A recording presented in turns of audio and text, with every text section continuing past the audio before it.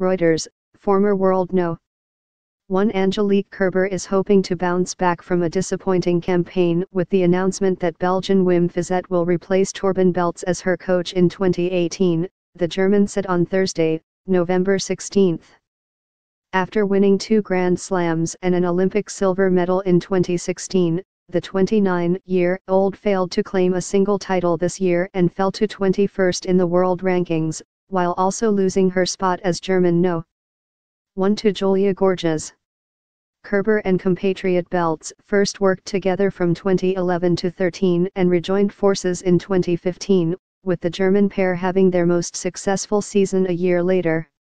It's been tough but I am about to start a new chapter in my career, with a new coach, Kerber said on her official Twitter account. Thank you Torben Beltz for everything that you've done for me. The next season is coming soon and I am very excited to start working with Wim Fissette as my new coach. It's a new chance and I am curious to find out what we can achieve together.